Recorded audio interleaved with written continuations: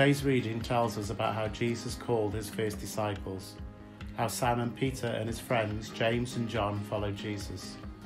They've been out all night and can't catch any fish. Jesus borrows Simon's boat so that he can teach the crowds that are around him on the shore. When he has finished speaking, he tells Simon Peter to put out his fishing nets into the water. Simon Peter, James, and John hadn't caught anything all night. Jesus tells them to try once more. They agree. Pause the video to discuss what happens next in the Gospel story.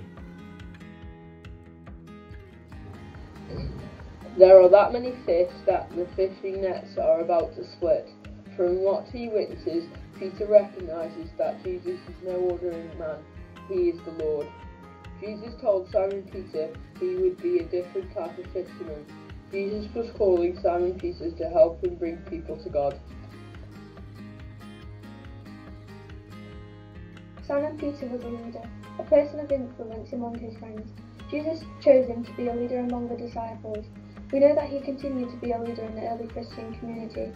He went on to be, become the first pope. His influence led many people to become followers of Jesus.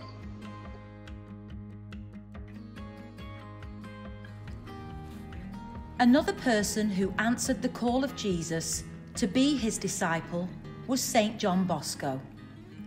We celebrated his feast day on Monday, the 31st of January. He is the patron saint of young people.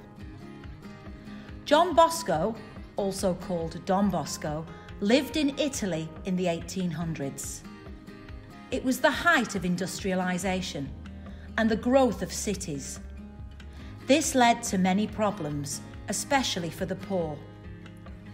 He was a priest and saw a need to look after orphan children, giving them opportunities to learn, get an education, and to learn a profession that would prevent them from falling into a life of crime.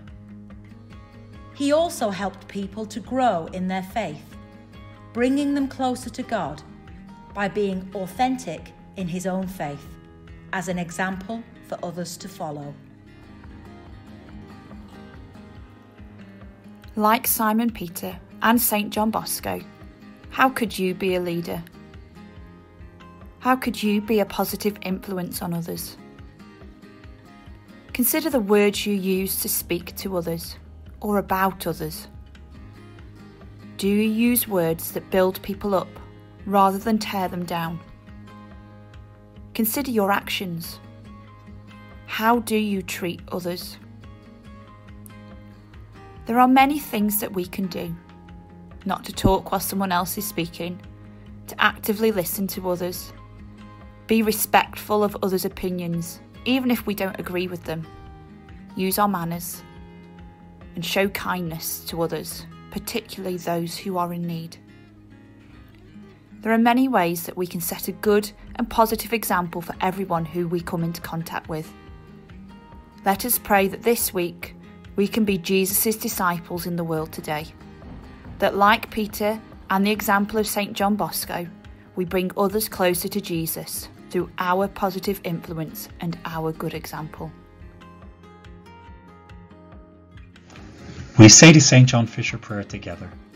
In the name of the Father, and of the Son, and of the Holy Spirit. Amen. Good Lord, set me to be a strong and mighty pillar for your true church. I pray for all Christians and people of faith around the world who face persecution and discrimination. Help me each and every day, Lord, to have an open heart for people less fortunate than me and to be thankful for everything I have. Amen. St. John Fisher, pray for us. Amen.